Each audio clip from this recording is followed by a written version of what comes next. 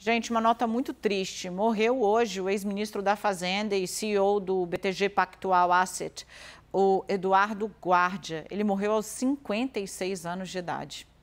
A assessoria de imprensa do BTG confirmou a informação, mas não deu outros detalhes.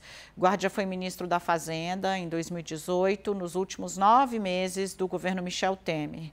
Antes, ele foi secretário executivo da pasta entre 2016 e 2018. Eduardo Guardia também foi secretário do Tesouro Nacional em 2002, no último ano do governo Fernando Henrique Cardoso. Em 2019, ele foi anunciado como presidente executivo da BTG Pactual Asset, onde ele ficou por quase três anos.